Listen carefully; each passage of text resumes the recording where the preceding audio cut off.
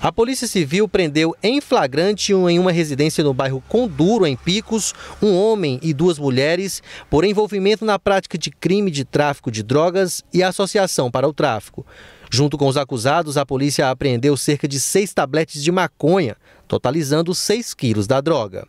A prisão aconteceu após diversas denúncias recebidas pelo aplicativo Debre Homicídios.